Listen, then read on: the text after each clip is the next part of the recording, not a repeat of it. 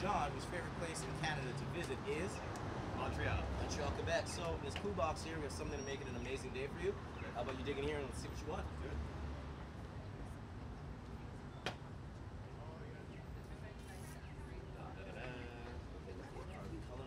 Hey. There we go. Congratulations. Have an amazing day. Watch the show tonight at 9 on CTV. Thank you.